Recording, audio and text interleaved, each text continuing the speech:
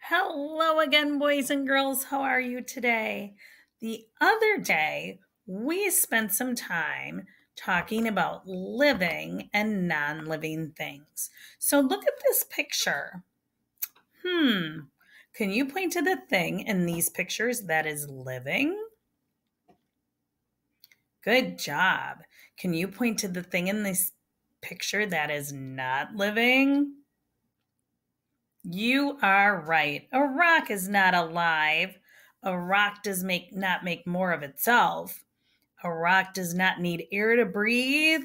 It does not need food for energy, and it certainly does not grow. So, this got me thinking about our ducks. Right now, some of our eggs have a. Did you remember what it's called? A pip. That means that the duckling made the first tiny hole in its egg, and now it's going to work to make it bigger, and then it's going to push with its head and push with its feet, and out it will come. But what are our ducklings going to need once they hatch? Hmm. So I thought maybe we'd listen to a story to see if that would help us figure out what our ducklings will need.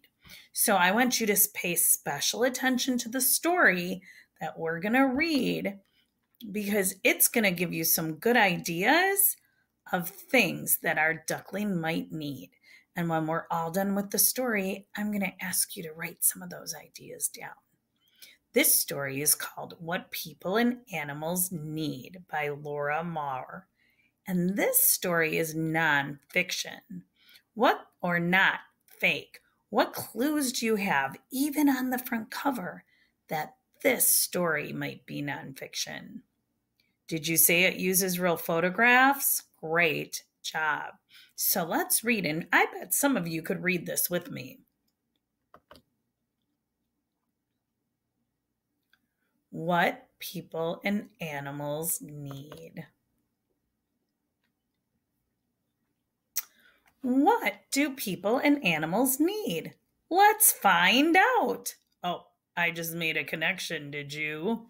That reminds me of our magazines. Let's see what they need. People and animals need food.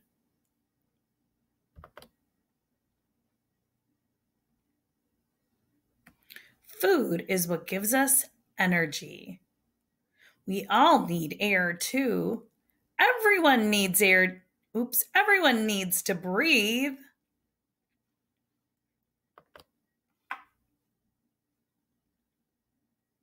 We all need water to drink. Some animals live in water.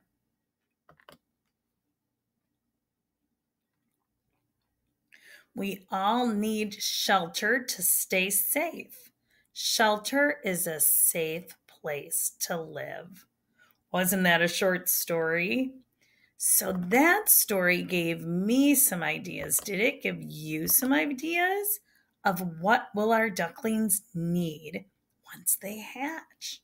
So your job for today, besides tuning in now and then to see if uh, we have any duckling friends, is to draw and label the things that you think our ducklings will need when they hatch because they cannot stay in the incubator. So, what am I going to need to do?